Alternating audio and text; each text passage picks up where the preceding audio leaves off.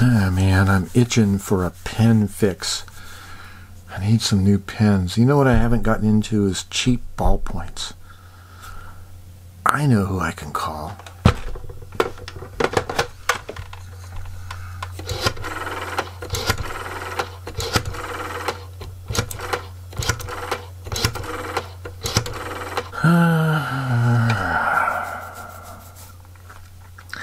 Come on, pick up, pick up, pick up.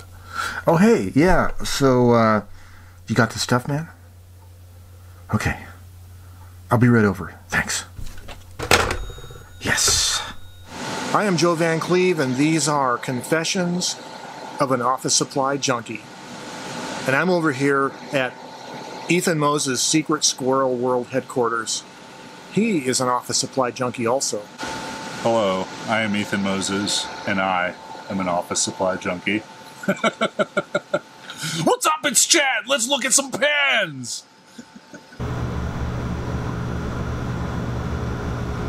So, Joe got me into fountain pens a while ago, which led me to buy every single fountain pen under $5 on AliExpress, which I dug for writing, not really drawing. And then um, we had a blue sheet incident in the bedroom, and then I wasn't allowed to use fountain pens in the bedroom. And then Laura bought a new couch, and then I pretty much had to stop using fountain pens.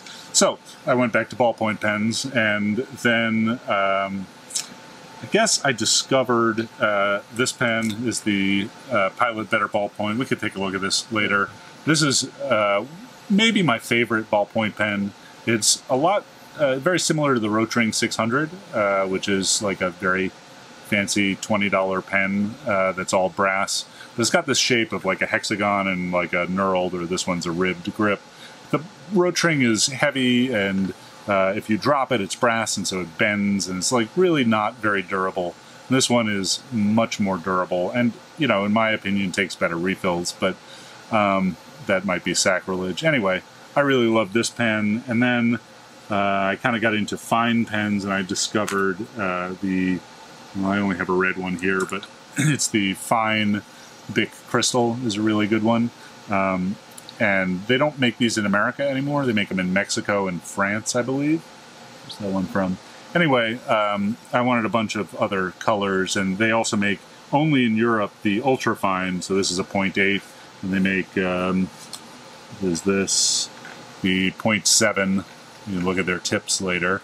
Um, and so I had to import these from the UK. And so while I was at it, I imported like all of these pens to see what every sub one dollar pen on uh, from you know Korea and Japan and Germany and France was like. And so I got all of these pens, and one of them is super good, and the rest are garbage. All right, so you know this is your standard Bic Crystal. It's very good. I think there's a new like lubricated ink in it. You know, it's fairly smooth, uh, particularly on this coated paper, um, and that kind of led me. I usually write with these ballpoint pens to buy this uh, very fancy one dollar, same as all the rest, medium Bic Crystal in gold, the baller status, right? And then. Um, I was real curious about other Bic crystals. So they make an extra bold. I think you've talked about this. Is a very thick, super uh, smooth line, but for notebook writing, uh, not small enough. All my loops close, and so then I bought uh, some of these fine Bic crystals, which you can kind of find on Amazon in huge packs. But I wound up getting one for free somehow, and this is a pretty fine line. I don't have the blue one here, but it's somewhere. Um, and then in Europe, they make these extra fine. So this is a 0.8, uh, and the ultra fine is a 0.7. You can see it has that nice like needle tip. Um, you can see it. And that's a very fine line. And I really dug these, but you know, um, I had to import these from overseas. Nobody here sold them for 25 cents or whatever. And so, uh, you know, you needed to buy so many pens to get free shipping from the UK, and so I bought a whole mess of different pens, all pretty much the same damn pens, and you know, here they are. Uh, it's a Sharpie. That doesn't belong, right? So the first bunch that I was super curious about are these uh, Monami uh, 153s, which are iconic pens uh, from Korea. The mediums are yellow and the fines are white. And so I guess we'll look at the blues. Um, these have this interesting click mechanism uh, that click down and uh, open up like that. And they don't have a clip. They're pleasing shape to me, kind of very pencily. And uh, I had seen these on the internet quite a bit. Um, but I had never seen one in real life. But apparently, they're like the big pen in Korea and maybe Thailand or somewhere. I think they were 21 cents a piece, so I bought one each in fine and medium and blue and black. And uh, they are not good pens, not at all. Uh, they're not smooth, not dark. You got to press on them. They're like the classic ballpoint that you didn't like that you find in the bank. But I think they're beautiful and very interesting and simple and something that I might 3D print around. And you know, you can replace the uh, cartridge, so the standard ballpoint cartridge, which I rather like, um, with something else. But they do have this very fine uh, tip, so maybe nothing, not many pens will, uh, many refills will fit through the tip here, but you could drill it out. Um, I'm all always into pen mods. Um, and then we have the fine one, which I think is even worse. I mean, it's not terrible on this coated paper. This is uh, Monami 153 fine. Anyway, so I got these guys. They were not my favorite pens, but I'm happy to have a few of them to check them out. Um, the other end of the spectrum of the most expensive disposable pens, I spent a whole $2 on one of these things. Um, this guy, uh, you can't even get at the refill, I don't think, without breaking. I think this is a glue joint or an ultrasonic weld. Probably glue. Uh, maybe there's a divot there that's ultrasonic. Anyway, um, this is uh, Caran d'Ache, which is a Swiss company, the fanciest disposable ballpoint you can get. It has like a classic click. I think um, they make a metal version of this that's the 849, I believe. It's a real fancy pen. Anyway, it's got this silent click, and uh, it's smoother, but nothing special. Uh, I still prefer this Pilot Better ballpoint over here.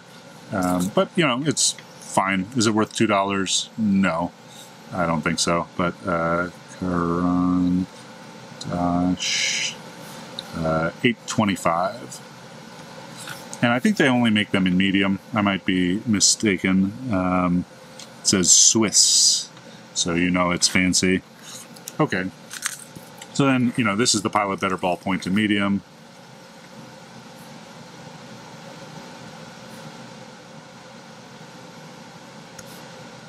And that's got pretty good ink in it. You can put some uh, Pilot Acroball ink in there if you just trim the end down, and it's this is like kind of my favorite pen, and they're about a buck. Very expensive, uh, but great.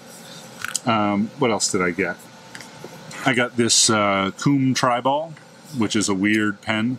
It's actually very interesting the way that it was made. It has this bizarro needle tip. It's got a triangular shaped body with rounded edges that I really don't love. The most interesting thing to me here is you can tell that somebody stuck this on a lathe and very imprecisely cut the cone at the end of this thing. They didn't even have an injection mold, uh, you know. And my thinking is they probably popped them out of the mold this way rather than a two-part. Um, and so this was a very interesting pen to me because it is manufactured. Uh, I don't want to say poorly, but so poorly. Um, you know, does it matter? No, but it's it's like I've never seen somebody just like they put this damn thing in a pencil sharpener basically to form it, which I've never seen in an industrial process. Anyway, um, the ink, I only bought one of these in black, maybe it was 50 cents. The ink is dark and smooth and wonderful. Um, really, really great ink for a ballpoint. Uh, do I ever use it? No. I've found some better things, but um, you know, even the printing is bad on this thing, which do I care? No. But I think it's really interesting how this is like a German pen and has the worst manufacturing out of anything that I've seen for the pen body, but really great ink. Okay, what else do we have? These uh, Pentel, uh, what are they? Super ballpoints. Um, Pentel is great. They make some of my favorite pencils. It looks like it has a grip here, but that's just uh, painted on. um, they're kind of made like gel pens, but what I like about them is they don't have the uh, like a gel here that feels gross, and they write pretty nicely, ball pointy. But kind of the way they work is you're you have this stick pen with um, this refill that you know comes out and is kind of held in over here by this uh, cap, and it just it's like a little wiggly, and uh, I don't love that wiggliness for precision. So, um, are these great pens? Yeah, and they're maybe like fifty to seventy cents, um, but I think you can do better. Um, and these come in like fine and medium, uh, and blue and black, and maybe some other colors. Whatever. I didn't really love them. okay. Then I got a Schneider uh, K15 and a Schneider uh, K1. Okay. Um, these are also totally crappy. I don't like them at all. These were also fairly expensive German disposable ballpoint pens. Uh, do they write well? No, it's got this very light ink. Uh, Schneider K15. And this is the uh, Schneider K1. So the deal why I bought these were they were like pretty cheap disposable ballpoint pens and um, Schneider has some really interesting lubricated inks like the XB series, which I bought a couple of those, which I kind of knew about but hadn't tried all of them. And I thought these might be uh, lubricated, you know, hybrid inks that are very smooth. They are not. They're just classic ballpoints. This one is the fanciest one. It's maybe two bucks, and it's got this like top-heavy design. It's stupid, and I hate it. It's a dumb pen. Um, this one is slightly nicer, but it's you know just your classic light, draggy, not so great ballpoint. I don't really see any need to use this. The pen body is fine. Maybe you'd put some other refill in it, but I'm not super into it. Uh, I don't know why you would ever want one of these when you have a Pilot Better ballpoint for the same price. Um, however, you know, you might just be curious to try every ballpoint pen and waste 20 bucks on uh, eBay or wherever. Um, these are really interesting Schneider pens, which is why I tried uh, the K1 and K15 over here. Uh, this is the Sch- Schneider Slider XB series, and so they make the Memo, the Edge, the Rave. There's a bunch of different ones, but basically, if it says Slider and XB, that's extra bold, and uh, sliders, they're lubricated ink. So this makes a real fat line, and it's very smooth. Schneider Slider I've tried the medium ones, and they're really not that smooth. These are real fun to write with. I don't love the rubberized body grip. Um, but yeah, I mean, they're good, I guess, for marking things. And this edge one um, came in brown, and I was curious about that. And this brown is not nearly as dark as I would like. And uh, I really hate triangular grips. It forces me to hold things like a reasonable person, which I am not. So whatever. I mean, this is good. Uh, Schneider XB, whatever. That's fine. Um, and then you know, I kept buying some of these uh, German ballpoints. These are very uh, fancy 50 cent ballpoints. Um, this is the Schneider Stick 430F. You know, it's a really iconic Bic knockoff, kind of like these uh, Monamis, you know. Um, and I have one in the medium. They have a clear body. Uh, it's very reminiscent. They have a nicer cap than these Bics, and they have a more solid, thicker body. Um, but the refill is actually one of the worst refills in the batch. It's light and draggy and not smooth, and I don't know why anybody would want these except for we'll get to why I wanted them later. But you know, I tried them out. They're 50 cents and they were fine. I like these pen bodies. I really dislike the refills. If you're really into, you know, draggy, crappy old ballpoints, they're nice pens. So I bought these. They were fine. Um, you know, one thing that I would note is like this uh, this super smooth Schneider over here is great, but this is maybe a dollar, and I it's rubbery, and I don't really love this rubber. Um, however, the Bic uh, 1.6 millimeter extra bold crystal also has that style of very lubricated ink and it's smooth and I think it's like a much more precise uh, thing to hold and I much prefer this pen at like I don't know 20 cents uh, to this pen. So although the Bic is the better pen. uh, for me, marginally, they're both good, but um, I, you know, if I had, if they were the same price, I would buy the Bic, and the Bic is cheaper, so I like these as the sort of fat-tipped, smooth pens. Um, then I found these Schneider Vizzes. Uh, I have one in a medium and one in a fine uh, dark blue. Um, these things, I was amazed that they're ballpoints and not gel. So, one, they have these nice caps that actually have like a snap. I don't know if you can Yeah. hear that. I'll do it near the mic. Anyway, marginally nicer pen body, much like these um, uh, Staedtler 430 sticks. Um, nice cap compared to the Bic for sure. Not this uh, leg poking thing people like to chew on. Um, these things, I was amazed that they weren't gel pens. Like, they're so smooth, there's no feedback at all, and the ink is very wet. And um, if you're looking for the smoothest ballpoint of all time, this thing beats like a Jetstream. It's it's almost a gel pen. I don't know how long they will last, and I also find that the ink is a little blobby. Uh, let's see if I can get it to do that. Yeah, you can kind of see. I don't know. When I'm writing with it, um, it makes some blobs, so I don't really love it. But um, this is a really incredible pen. I think they were like 40 or 50 cents a piece. And uh, yeah, if if you're into uh, hexagonal stick pens that have very smooth ink, uh, the Schneider Vizz is great.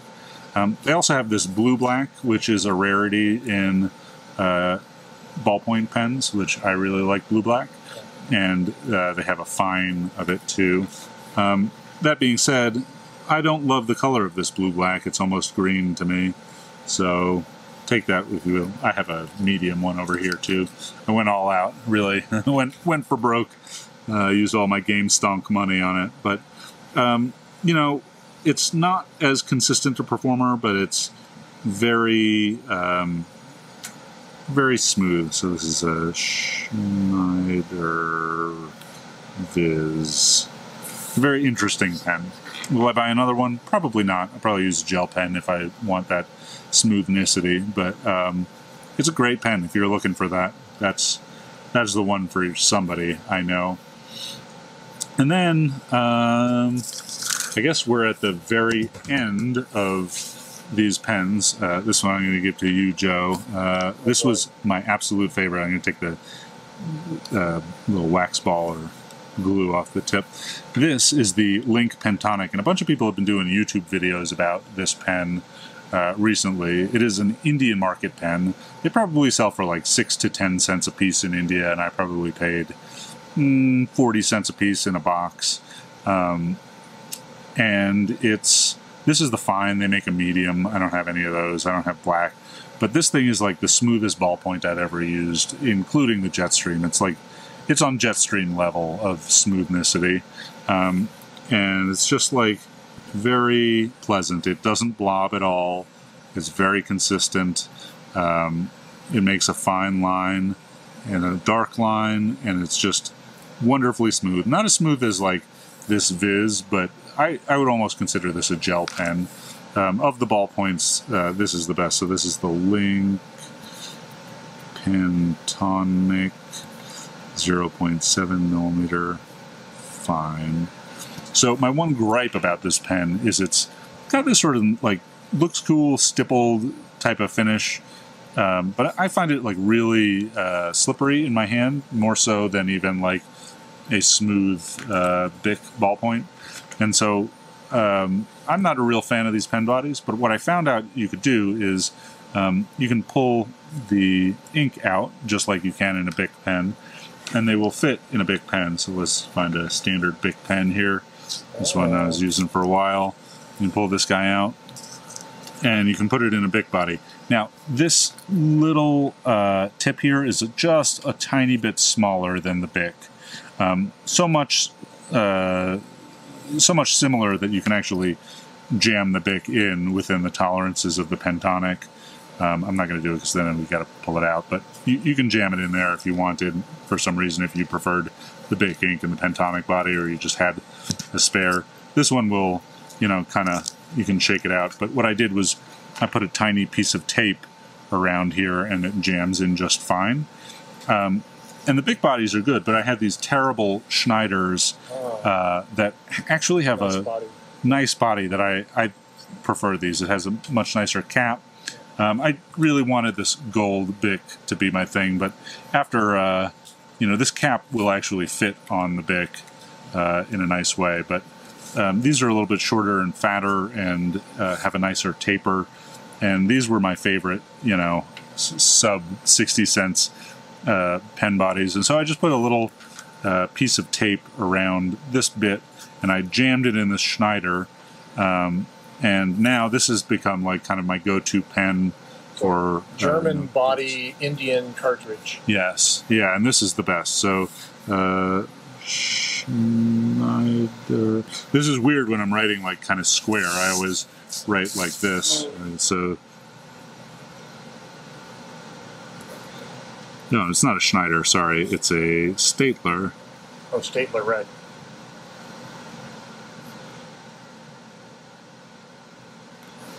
430F.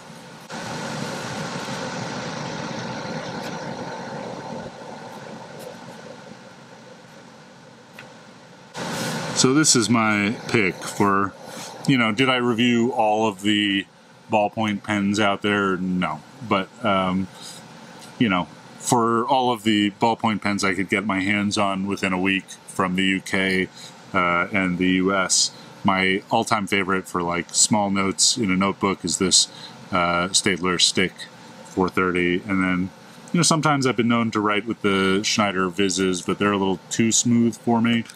And so, like, if I have to write somebody a letter in like large handwriting, I'll usually use these uh, big, bold, Bic crystals. Um, and yeah. Oh, one more thing. Have you ever seen this pen, Joe?